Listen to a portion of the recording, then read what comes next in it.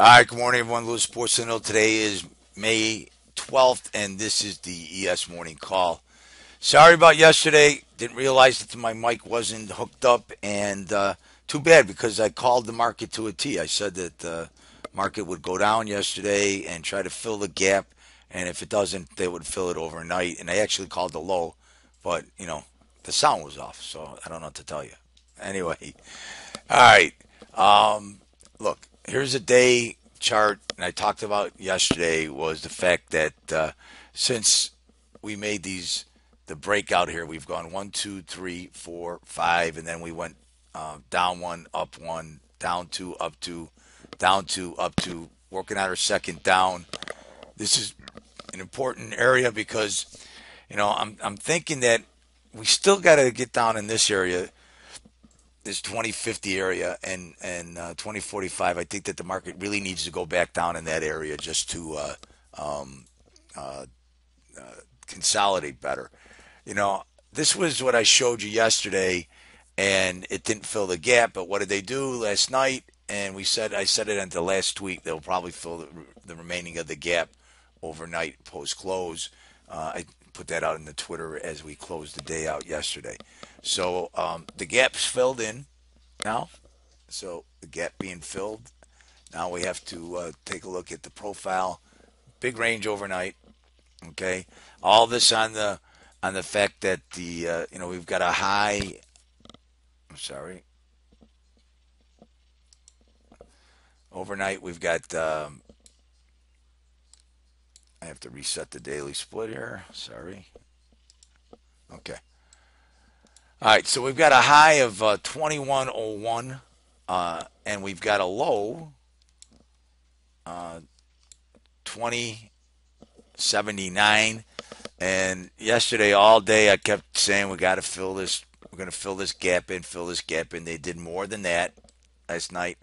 They came in uh, and uh, brought the market lower than that. And I'm looking at, you know, I really like, I like it down here. See this 2069? I think this is not, you know, a, a bottom that uh, is complete right there. And um, I even like it all the way down to here. So 2056. I don't think this is complete. But I think the you know we have to stay with the way the market's been trading, and this market has been you know up to down to also um, you know they kind of overdid it overnight with the news out of uh, the ECB adjourning without any um, uh, resolution with the Greek situation, plus uh, the mounting concerns of the aging uh, population in Europe and how and what it's going to cost to the ECB. Uh, so you know, basically, look, we're in this trading range, okay, and uh, you just got to uh, you know, you know, take a look at the, the factors that will allow you to trade the trading range, right? So, you know, one of the tools that I use is the um, this four hour.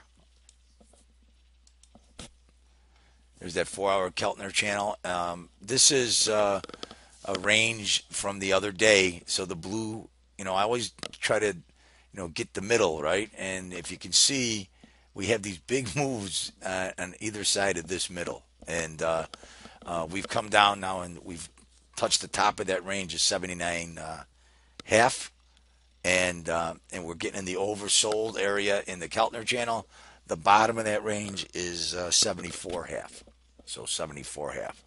Um, and once again, here's that four-hour chart. We did not take out the four-hour pivot yesterday, and um, that was uh, um, and too bad you didn't hear me. But yesterday I said I thought the market would rally up between 2112 up to 2115. I would want to sell failure, but what it did do is it, it failed to take out yesterday's or the day before's high, right? So we got up here yesterday and we we we, we made it, you know, 2113 half, and to me that was failure. Let me put that in there. And with the failure in the market, that's when we, you know we spent the rest of the day moving down. Okay, so today, um, although I would like to see uh, the market go down to the 2050 area, I think there'd have to be some really negative news to bring it down there today. Um, I think you're going to get a two-sided trade. You're going to see the profile fill in. Let me bring it back in here. I think we're going to get a two-sided trade. You're going to get a retracement back up into this area. All right, and then um, uh, we'll see what happens. I think they'll put more more volume in this area, right? So um, you just gotta kind of go with the flow today and jump on the on the market trends. Okay. Uh, as far as sorry, get that out of our way. So the four-hour chart's getting in the oversold area. I would look for this market to bottom out around 2074 half um, today. If it if it gets through that 74 half, then we got to take a look at uh, um, what kind of momentum we got going after it gets through there. Okay. Here is a five minute. Let me put this up at 30 minutes so we get the value area because we're trading way below value um, out, outside of the range.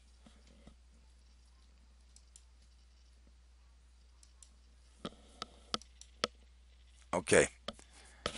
All right. So um, top of value is 21 11 half. Point of control is 21 10.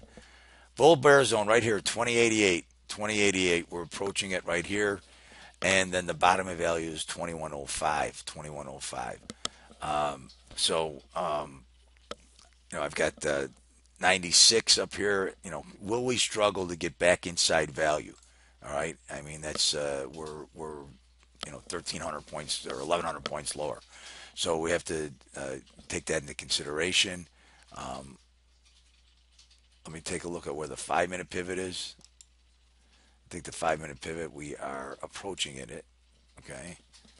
All right. So we have the five minute pivot at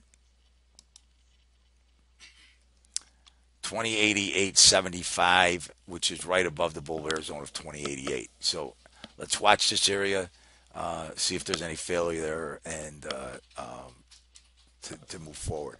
Uh, a lot of action in the other uh, commodities today. I don't know what's going on here, but the bonds um, made a low overnight of uh, 151. They're rallying about 152.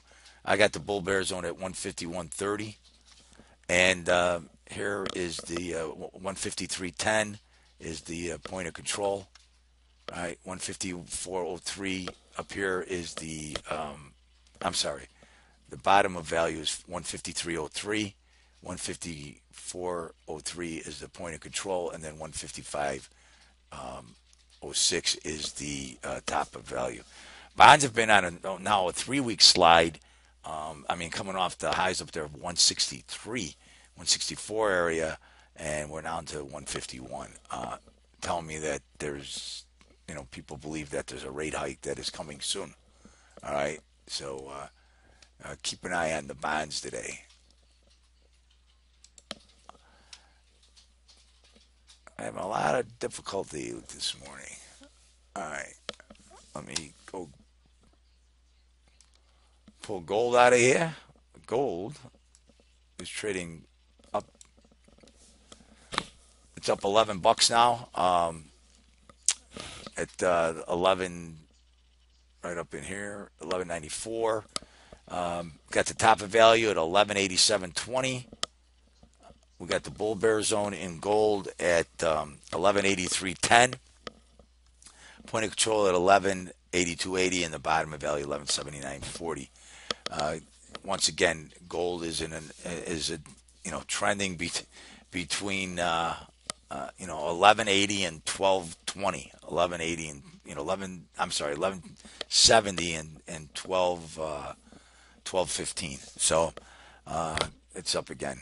Uh, one of these commodities is going to be right one of these days. I just, you know, they just, it's the way they're trading.